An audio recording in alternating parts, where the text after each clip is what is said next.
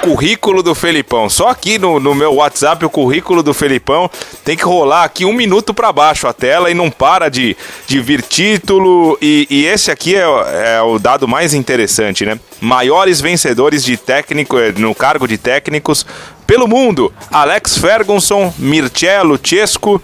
Aí você tem o Otmar Hitzfeld e o Luiz Felipe Escolari. Também tem o Valery Lobanovski. E o Luiz Felipe Escolari aparece na quinta colocação com 27 títulos e ao redor do mundo, né? Brasil, Portugal, Uzbequistão, China, passou pela Inglaterra também no Chelsea. É um prazer conversar, receber por telefone Luiz Felipe Escolari. Bom dia, onde você está nesse momento, Felipão? É um prazer. Bom dia, bom dia.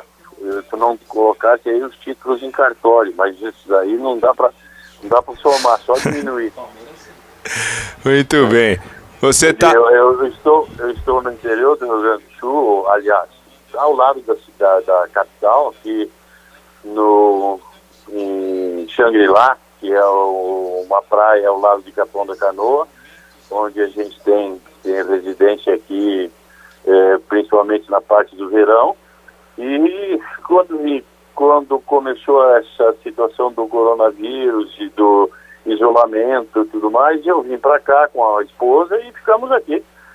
Aqui é um local muito privilegiado, tranquilo, nós temos o nosso condomínio para caminhar tranquilamente, fazer os nossos exercícios e não sai daqui de dentro. Então, esperar a hora, a oportunidade que as, que os, as autoridades nos digam que estamos mais seguros para poder fazer mais alguma coisa seguindo todas as recomendações, né? É, é um momento, Felipão, eu percebo assim, é, na imprensa em geral, todo, torcedores, né? Todo mundo, toda a comunidade do futebol, um momento de, de muita ansiedade, né?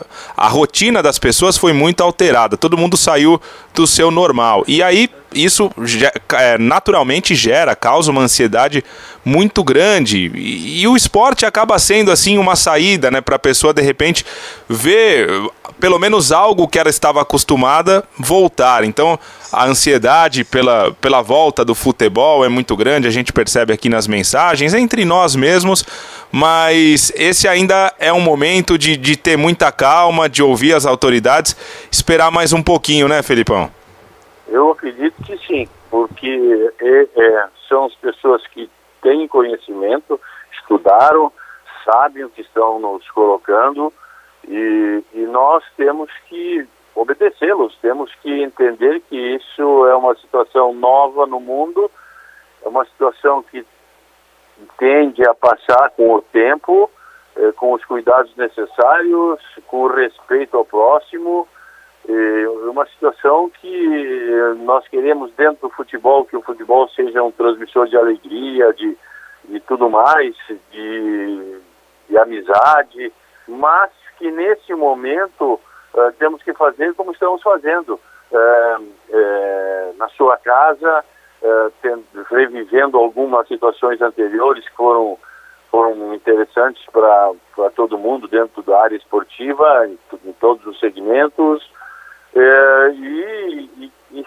tentando minimizar essa situação para que no futuro, que eu acredito que seja, possa começar a ser alguma coisa mais, mais palpável daqui 30, 40, 50, 60 dias, aí sim ser uma situação mais segura e vamos ser o, o, motivo, quem sabe, de algum, de algum movimento maior aí em termos de, de mundo do futebol, gera essa expectativa, gera esse, esse ambiente.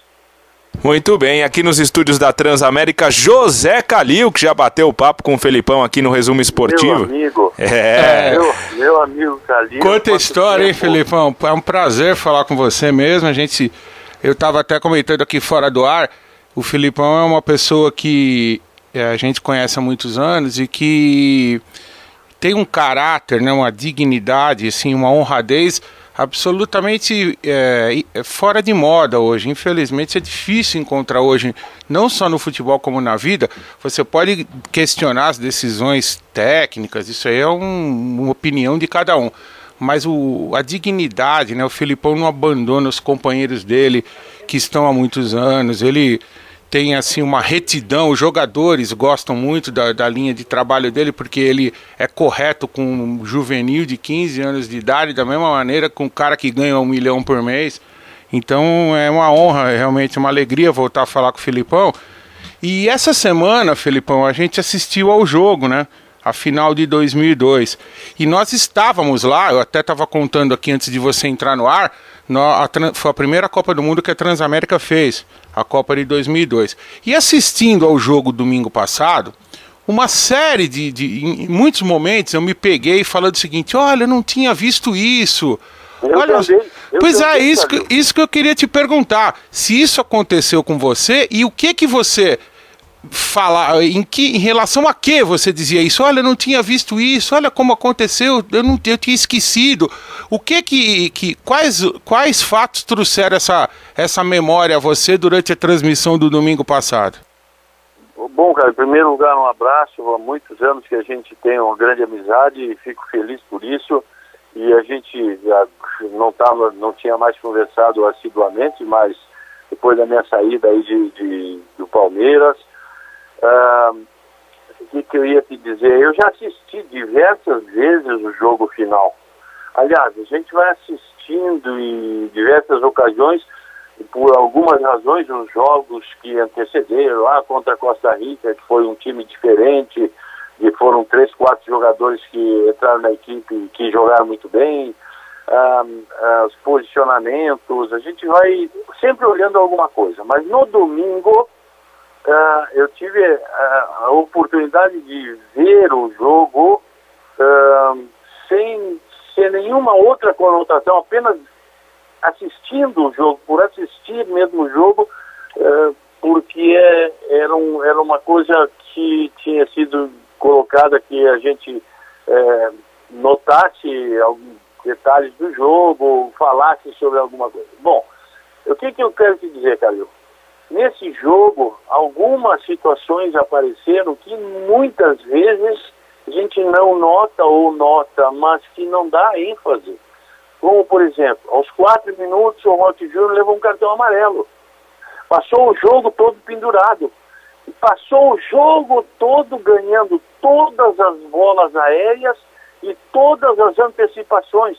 E só numa bola que ele não conseguiu antecipar, ele se perdeu na marcação e mesmo assim não, não tocou no adversário porque já sabia que tinha amarelo e sabia que o Colina ali ia expulsar normalmente. Então, na minha opinião, o que eu vi no jogo de domingo, o Rock Júnior foi, se pudéssemos dar uma nota para o Rock Júnior naquele jogo, seria de 9.5 em 10, porque não, quase nenhuma falha, fantástico. Uh, depois, o que, que nós vimos ali? Cleverson, Cleverson, uh, em três oportunidades teve a chance viva do gol. Hoje nós falamos muito, Calil, ah, de que os, os volantes não são volantes, são mais jogadores, não são apenas jogadores defensivos, tem que armar, tem que chegar na área adversária, tem que fazer o box to box, como o pessoal fala na Inglaterra, isso que nós tínhamos, também tínhamos jogadores para fazer isso. E o Cleverson já naquela oportunidade fazia isso, porque a linha de três era bem formada, os três jogadores da linha de três podiam sair ah, tranquilamente, porque dois sempre estavam postados, e o Gilberto, que lá, lá no Arsenal chamam de a muralha invisível, estava sempre ali. Então nós tínhamos os laterais apoiando, quer dizer, no sentido de futebol moderno, nós fizemos uma, uma seleção em 2002 que jogava dessa forma. Claro que pelas qualidades dos atletas, uh, por, por, um completar o outro, e aí tivemos um, um, um sistema de jogo totalmente diferente daquele que nós estávamos jogando, principalmente nas eliminatórias. Então a gente vai vendo coisas, e eu vi no domingo isso, e nunca tinha visto o Cleverson, Cleverson sendo um dos melhores jogadores em campo, numa função tática especial, e que chegava à frente a toda hora, porque ele era uma surpresa. E o Rock Júnior, porque o resto, o resto que eu digo, o restante da equipe, Ronaldinho, Rivaldo, é, eles jogaram normalmente aquilo que jogavam, eram os jogadores diferenciados. E quando entrou o Juninho, todo mundo pensou, ah, o Juninho vai entrar. O Juninho entrou, roubou duas ou três bolas e teve duas ou três chances também de fazer o gol, passar para o rival, fazer o gol. A gente vai olhando detidamente outros detalhes, porque daí já não não está naquela, naquele, naquela tensão de ver um jogo, de ver isso, ver aquilo. E é importante porque a gente depois vai dialogar com o pessoal da comissão técnica que hoje ainda trabalham comigo e nós vamos colocando algumas coisas que nós não tínhamos colocado, Calil. É, você vê só, teve muita coisa que a gente lembrou na época. Você fala, além desses detalhes aí que o Filipão destacou, realmente o Rock Júnior jogou os três zagueiros, né? Ali o Edmilson que saía mais, jogaram uma grande partida dos laterais eles tinham uma função mais ofensiva, Sim. né? Por causa do, do, da composição ali de meio. Foi um, uma grande partida realmente o, da seleção brasileira. Foi, foi, engraçado ver que assim muita gente não lembrava da importância do Kleberson, né? E aí. Ah, esse jogava muito. Em rede social e tudo mais, o nome do Kleberson do nada passou é. a ser o mais citado porque o Brasil inteiro estava ligado e foi muito legal reviver esse momento mesmo. Vou chamar mais um aqui que deve ter uma historinha ou outra, deve conhecer mais ou menos o Luiz Felipe Scolari, que é Roberto Carmona. A comp... Ah, meu, meu amigo Carmona, ouvi, meu amigo Carmona, antes de tu falares alguma coisa, ouvi, não sei se foi agora, foi há um ano, dois anos atrás, 50 anos do jornalismo esportivo, o mestre dos mestres, cara. Parabéns, parabéns, hein? Olha, experiência, trabalho, honestidade, tudo, tudo junto, é para passar junto com esse pessoal mais novo aí, hein? Pois é, Felipão, um, um grande abraço, bom dia a você. É, eu estou mudando um pouco a minha, a minha forma de, de agir hoje, chamando-o de você. Eu nunca fiz isso. Sempre chamei Não, de professor. De sempre, sempre, chamei de professor, chamei Não. de senhor, pelo respeito que a gente tinha ou que tem pelo seu trabalho e pela sua pessoa. Obrigado. Profissionais como o senhor, a gente costuma dizer que não erra, se equivoca, né? Que errar é, muito, é, é, é um termo muito pesado. Eu estou falando isso para fazer a seguinte colocação para o senhor. Na Copa realizada aqui no Brasil em 2014, o senhor teria cometido um equívoco ao admitir a formação da comissão técnica junto com o Parreira?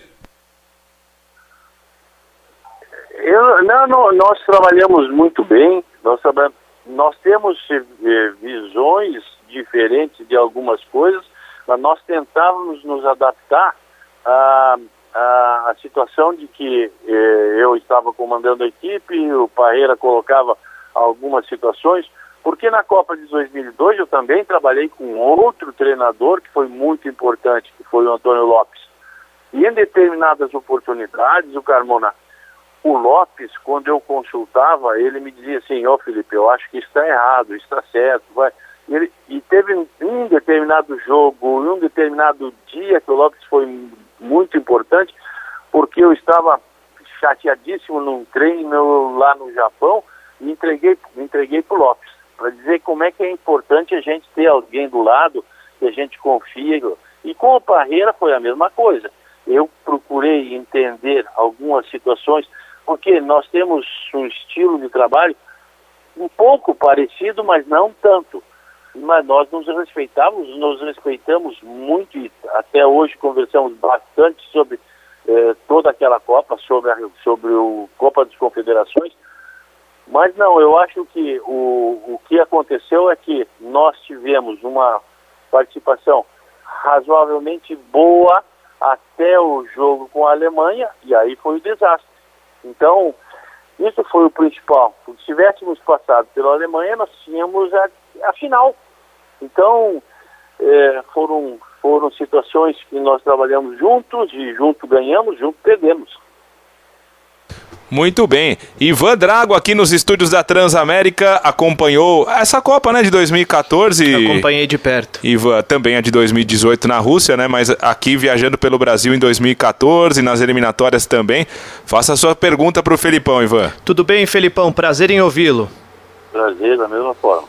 Felipão, é o seguinte, é, eu gostaria de perguntar a respeito de futuros planos, né? Você recentemente retornou ao futebol brasileiro. O sistema de triturar profissionais aqui no Brasil continua o mesmo, ele nunca mudou. E um profissional consagrado como você hoje pensa de que forma? O que é que você quer daqui para frente? Que tipo de projeto o seduz? Você ainda pensa em dirigir um clube no futebol brasileiro ou pensa, por exemplo, em uma seleção, trabalhar mais um pouquinho fora do país? O que é que você está pensando para o futuro, Felipão? Eu tive algumas, depois que saí do Palmeiras, eu tive duas oportunidades de trabalhar em seleção. Uh, uma na América do Sul e, o, uma lá na Coreia. Mas uh, uh, por questões de valores, por questões eh, diferentes daquilo que a gente imaginava, por uma razão ou outra, não, não, não seguimos em frente. depois tivemos alguns clubes, depois da saída do Palmeiras, mas também é, o último foi um, uma situação que já estava praticamente encaminhada, que era do Boca Juniors, com o Batistuta, onde a gente já tinha conversado duas, três vezes sobre o que, que nós iríamos trabalhar, como fazer, mas a, a, não venceu a chapa que, que defendia essa situação. E agora eu tenho recebido uma ou outra oferta de clubes brasileiros e também de clubes, eh, da, principalmente da Ásia. Tenho pensado, tenho pensado, tenho conversado, tenho visto se a possibilidade de sair. Acho que neste momento a possibilidade dos clubes investirem, contratarem, é um pouco mais remota, porque vai demorar ainda mais, mais alguns dias para resolver essa situação do, do, do vírus. E tenho visto, eu não, eu não tenho predileção por, por trabalhar no Brasil ou trabalhar fora do Brasil. Eu trabalhei em sete países. Então eu tenho, tenho liberdade para dizer que sou bem aceito fora, tranquilamente. E dentro do país, claro que também, se voltasse a ter uma oportunidade de, de uma boa equipe, a gente trabalharia normalmente, porque eu tenho numa também na minha na minha equipe bons bons auxiliares que também não, não, não, não deve nada em termos de trabalho a qualquer outra, qualquer outra grande equipe. Não sei, eu não, não tenho nada definido do Ivan, nada definido ainda, depende da oportunidade e também o que é que pode ser apresentado. Se é um simples trabalho como técnico para que é, aconteça, não, se a gente tiver um bom projeto, alguma coisa é, definida, com detalhes que a gente possa conhecer que possa participar ativamente, aí eu, claro que eu trabalharia em qualquer lugar do, do, do mundo, no Brasil, tranquilamente, que é o meu país. Uh, mas uh, não, não vou te dizer que, que, que a gente não vai sair logo, não. Mas nem aqui, nem para o Brasil, nem fora do Brasil. Vamos esperar para ver essa situação ser mais regularizada normalizada no mundo todo e as propostas que surgirem para que a gente possa definir. Então, mas que eu pretendo continuar por mais uns dois anos, três anos dentro do futebol, nesta área, que é a área de técnico, isso sim eu vou continuar. Muito bem, agora, Felipão, um, um rapaz que até outro dia te enchia o saco no Palmeiras ah, ainda. Menos, mais ou é, menos. Tá, a, acompanha aqui pela Transamérica há o que, Leandro? Uns 10 anos? O... Nove, é, nove anos. Nove a anos. rotina do Palmeiras e, e cobriu recentemente, né? O título brasileiro foi o último do em Felipão. Em 2012 também, na Copa do Brasil, estávamos em Curitiba. Em 2012, na Copa do... É verdade. Leandro Boldaquian, faça a sua pergunta também para Luiz Felipe Scolari. Tudo bem, Felipão? Muito bom falar com você novamente. Tudo bem. É, retornando um pouco nessa saída sua do Palmeiras, Felipão, é claro que fica essa parte final né, do trabalho, o segundo semestre, mas pouca gente se recorda do primeiro semestre que o Palmeiras fez é, inclusive com pessoas já perguntando quando que iam dar a taça, quando que é, quem pararia, qual rodada seria campeão. Aí veio a Copa América e o time teve uma queda no segundo semestre. Eu queria saber de você se você identificou o porquê dessa queda, se de repente rolou um, um, um, um comodismo por parte dos jogadores e se isso também era de uma certa forma, Felipão, um reflexo de como o Palmeiras era gerido pelo ex-diretor Alexandre Matos porque sempre, né, a gente acompanhou nesses anos, acabava sobrando para os técnicos. E se você já, se você pôde detectar o que, que mudou o fio com aquela paralisação para a Copa América? Bem, eu, eu, vou começar pela parte final. Eu penso que o, o, o, Alexandre, ele era um funcionário como eu. E quando, quando tu és funcionário de, um, de, uma, de uma equipe, tu tens um, um chefe e ele é o que comanda. Nós tínhamos lá a direção acima de todos nós. Então, o Alexandre era um companheiro de trabalho como eu, e se, se no momento ele teve uma solicitação ou foi solicitado a ele de que eu saísse do Palmeiras, ele mesmo mesmo podendo querer que eu não saísse, não era a, apenas ele sozinho que iria fazer com que eu ficasse. Portanto, eu entendo que a minha saída do Palmeiras não foi apenas por uma ou outra razão, mas que tem direção e a direção entendeu que eu deveria sair e essa direção é que é superior a todos nós. Uh, é, e que eu vou te dizer, ah, sobre a primeira parte do campeonato foi ótima, foi maravilhosa. Nós tínhamos uma situação bem evoluída de treinos e jogos, conseguíamos os resultados. Depois dessa parada, nós tivemos um problema. É, o nosso, nossa equipe não conseguia mais fazer aquilo que fazia nos primeiros três, quatro, quatro meses aí do ano. Quatro, cinco meses do ano. Não conseguia. Nós tínhamos aí uma sistemática de jogo, principalmente com o Davidson, que eh, não, não seguiu, não, não seguiu acontecendo depois da parada eh, nós não conseguimos imprimir aquele mesmo sistema. E aí uh, tivemos aqueles, aqueles tropeços, o tropeço da Copa do Brasil e principalmente o tropeço da Libertadores em casa contra o Grêmio, onde nós tivemos as oportunidades, criamos as oportunidades, não conseguimos fazer o, gol que seria do empate e classificação, e tudo foi, um, foi, foi uma situação eh, que evoluiu para minha saída. Uh, mas como eu te falei, eu não, eu não, eu não acho que o Alexandre tenha total participação, não, e tenha uma participação mínima com um funcionário como eu era. Essa é a minha visão. E, e aí nós não conseguimos, não conseguimos jogando. Conseguimos, nós tínhamos uma sistemática muito boa com a saída, com a saída do, do, do nosso jogador pelo lado esquerdo, com as colocações corretas dos jogadores e tal, e não, não deu certo. É, essa parada na Copa América fez com que nós tivéssemos uma desestruturação grande e os outros equipes melhoraram. Depois o, o Flamengo melhorou muito mais, o Santos melhorou também. É, e aí nós ficamos ali e perdemos as jogos chaves. Copa do Brasil, estávamos, perdemos para o Internacional nos pênaltis. Depois,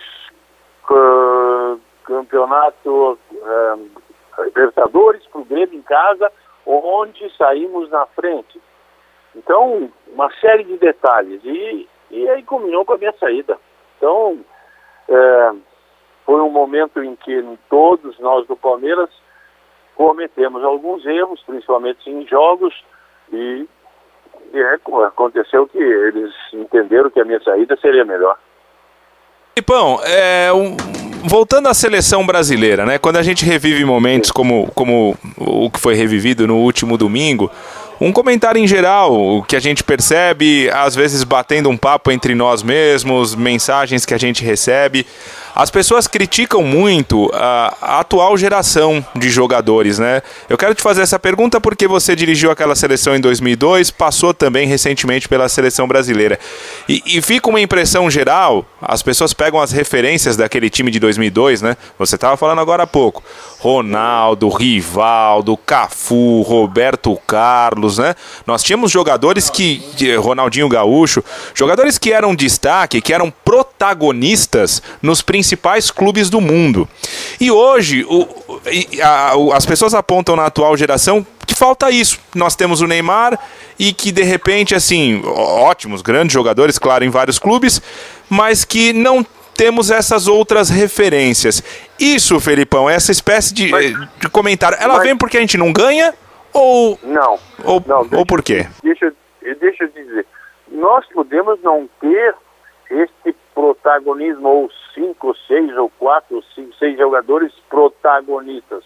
Mas nós podemos ter, e é isso que os jogadores têm que procurar entender, que os técnicos têm que tentar passar para os jogadores, que nós razoavelmente com alguma qualidade podemos ser uma equipe.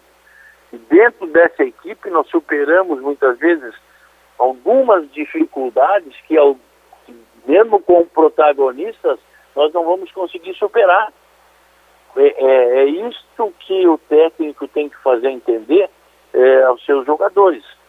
E eu acho que no momento nós estamos, penso eu, cobrando do, do Brasil que tenhamos mais jogadores diferenciados, mas esses, se nós não temos os diferenciados, eles têm que ser diferenciados no pensamento de grupo. E aí é que nós vamos conseguir atingir, quem sabe então, protagonismo diferente do da parte totalmente técnica, mas como equipe, como grupo, como trabalho não individual, mas coletivo. E, e isso faz com que algumas equipes uh, no mundo todo já estão mostrando sejam superiores às outras, não apenas pela parte técnica, mas pelo coletivo. Muito bem, a gente está entrevistando Luiz Felipe Scolari, um dos maiores campeões do mundo. Segundo ele, pode colocar até título de cartório, mas se colocar, ele passa até Alex Ferguson, que ficou quase. É, ficou duas décadas lá no Manchester United. Calil, faz mais uma pro Felipão. É, ele não, ele não falou do, bi, do bi, dos bichos, né? Que cada título desse é um bichinho a mais, né? O Calil, o do, Calil, domingo, domingo foi a primeira vez que eu te disse, eu em casa, sozinho com a, com a, com a minha esposa aqui, assisti e ao término do jogo eu olhei e disse, realmente eu fui o campeão do mundo. Não, nunca pensei dessa forma quando a gente ganhou o título.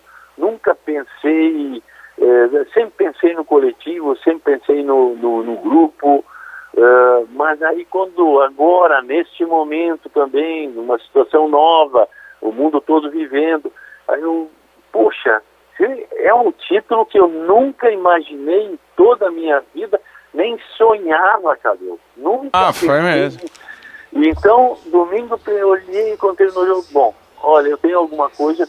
Eu não pensava dessa forma. Não, e principalmente. Uma coisa de mergulhar. Não, e porque quando, quando você assumiu, né, Filipão, em 2001 a, a, a, o, o, que mais se falava era que o Brasil nem iria à Copa, né? A situação da eliminatória era dramática e, e, e quando você assumiu, eu me lembro de alguns jogos, eu, eu, trabalhei num jogo em Porto Alegre que o Brasil ganhou com uma atuação boa do Marcelinho, eu trabalhei num jogo em Curitiba também que o Brasil ganhou, eu não me lembro agora os adversários. É, porque... não, é em Porto Alegre com o gol do Marcelinho... É uh, e do, do ex-grêmio. Depois em Curitiba, se não me engano, foi numa jogada totalmente uh, diferente. Foi um balão do Marcos, raspou de cabeça alguém, o rival fez gol. Uh, em São Luís, a última, foi em São Luís o último jogo, né? É, São Luís foi ah. 2 a 0 com o gol do, do Luizão, do Luizão, se não me engano, é. do rival. É, então. E, é. e o que, que eu ia te dizer? A gente não pode esquecer que 2001, a gente era quarto colocado e o meu primeiro jogo foi contra o Uruguai. E o Uruguai ganhou e passou na nossa frente. Eu lembro, é, perdeu, exatamente. Nós ficamos em quinto colocado já naquele, naquela oportunidade. Então, era difícil. Foi, foi difícil até o último jogo, mas é aquilo que eu falava a esse grupo. Se eles queriam, se eles queriam decidir contra a Argentina na Argentina, uma classificação, ou se eles queriam decidir em casa contra a Venezuela, como foi o caso. Então, claro, todos se sentiram uh, tranquilos naquele jogo, jogamos muito bem, a partir dali as coisas foram evoluindo. E a partir de Barcelona, evoluíram para bem melhor, porque foi já era já era aquele caminho da Copa. Então são são pequenas coisinhas que vão evoluindo a partir da entrada também do Américo Faria, que fez uma nova rota do nosso trabalho, totalmente diferente daquilo que nós tínhamos imaginado pela sua competência, e ele fez tudo certo, é que a gente foi evoluindo e ganhou. É, foi bom você lembrar do Américo, porque muita gente, principalmente aqui de São Paulo, não gosta muito dele, mas eu sempre eu acompanhei muito a seleção com ele desde lá atrás, né, no, na, na conquista do Tetra também, e o Américo foi realmente um. É, é agora não está trabalhando, mas ele sempre foi um cara de, de organização, de logística, muito bom. Agora, Felipão, para terminar aqui da, de minha parte, depois não sei se mais algum companheiro tem pergunta, eu queria falar o seguinte: o que se discute muito hoje é se o futebol mudou, o quanto que mudou, o quanto que não mudou. E é óbvio que na parte física mudou, né? Hoje os atletas correm muito mais. Eu, que... eu, eu, vi o jogo de 1970 também agora. É, de... Então, porque o que, que a gente tem que estar fazendo, cara? A gente, eu, Paulo Tua, Carlão, o, o Anselmo, que está trabalhando aí no Corinthians, que é o preparador físico, o Paulo Paixão, que a gente está falando. O que, que a gente está fazendo? A gente assiste a um determinado jogo, é, toma nota de, de que, que a gente viu, o que é que a gente pode mudar, o, como é que devemos fazer uma série de treinos diferentes para conseguir atingir objetivos e vamos discutindo que vocês fazem o trabalho hoje na rádio aí e nós fazemos aqui por, por internet e, e vamos discutindo e vamos acrescentando para tentar melhorar quando nós voltarmos. E o que, que eu vi? 70, espetacular, mas é um outro ritmo. A parte física era diferente, uma série de detalhes e a gente vai, vai vendo que parte tática, como é que definiu bem o Zagallo. Ah, e aí vai, vai mudando. O futebol mudou, cara. Mudou bastante, muito, mas mudou detalhes, detalhes que a gente eh, pode acrescentar. Mas a parte técnica de trabalho eh, mudaram o ritmo dos treinos, a intensidade, a velocidade, a parte física mudou tudo isso também, a parte médica evoluiu bastante. Só que a gente foi adaptando, vai adaptando e, e, e a gente vai conseguindo fazer com que o futebol seja aquele diferenciado que a gente imagina, que a gente consiga fazer com que os atletas joguem e as equipes, as nossas equipes, consigam a vitória em campeonatos. Roberto Carmona, para a gente já caminhar para a parte final, já estamos encerrando com Luiz Felipe Scolari, porque senão depois também a dona Olga vai dar uma bronca, né? Muito tempo no telefone aqui conversando com a gente, aí é, é, quarentena, mas também não vão abusar.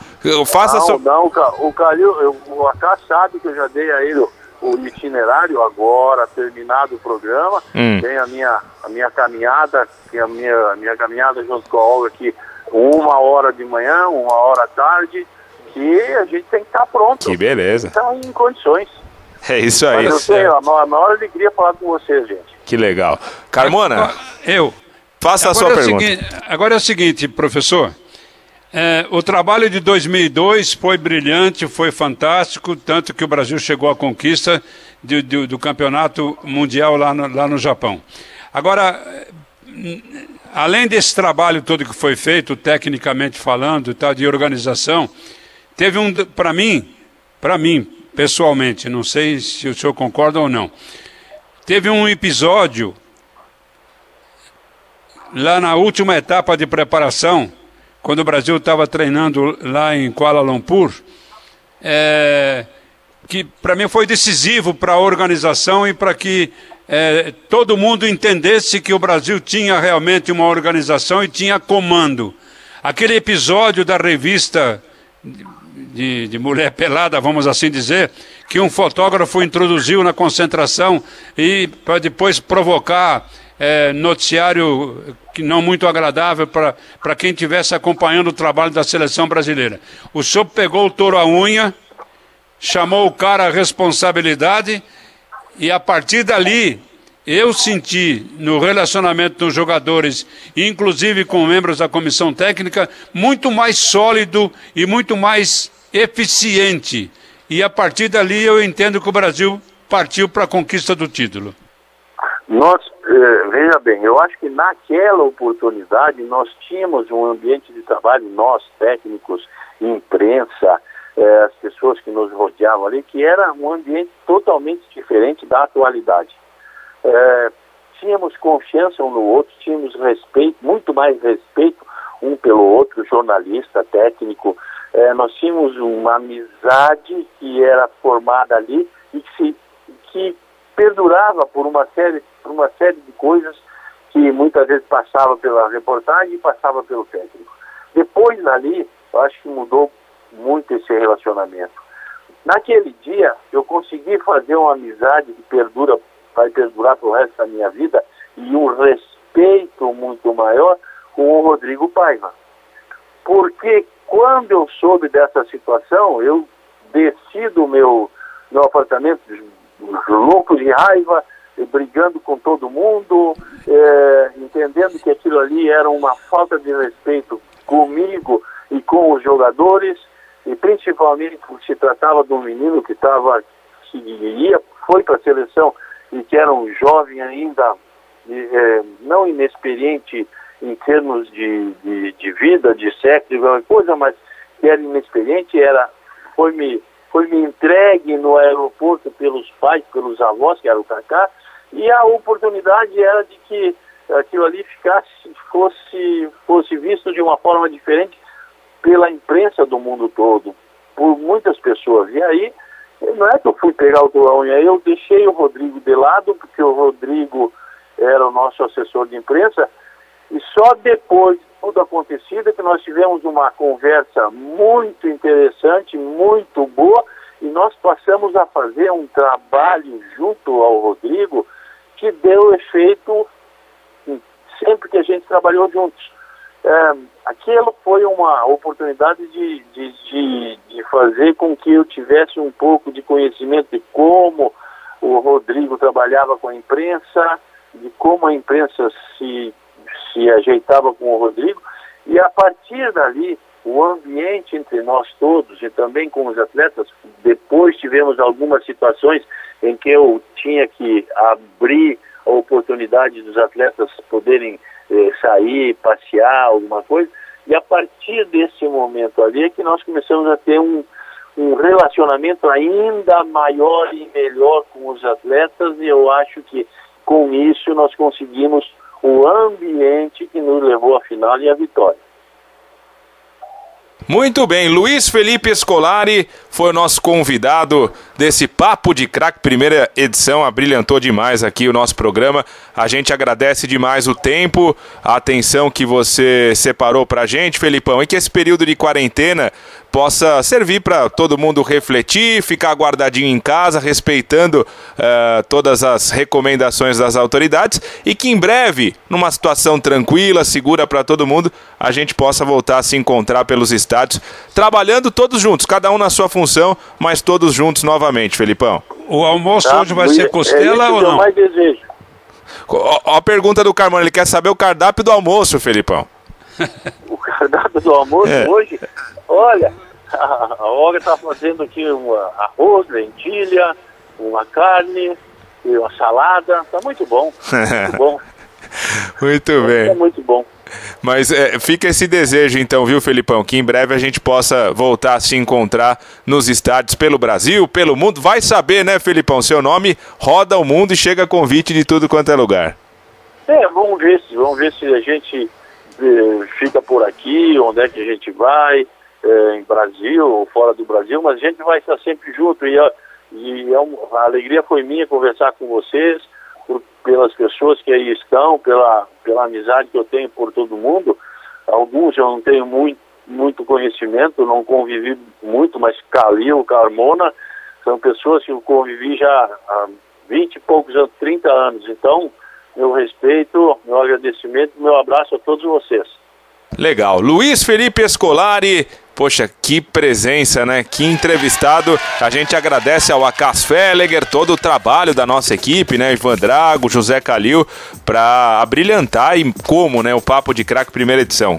Como foi legal receber o Felipão e um cara que pode falar sobre tudo, né? Seleção brasileira, futebol nacional, europeu, o que você quiser. E, ó, se, se deixasse a gente continuar falando com o Felipão, os ouvintes estavam perguntando se ele poderia treinar rival. Você pode perguntar de Cristiano Ronaldo. Tem tanta coisa é, que você pode é, falar com o Felipão, cara. o Cristiano na seleção portuguesa. É. Em relação a treinar rival, eu já posso responder. Que ele já falou sobre isso. É. Ele, pode, ele treinaria qualquer clube desde que a proposta fosse boa. Agora,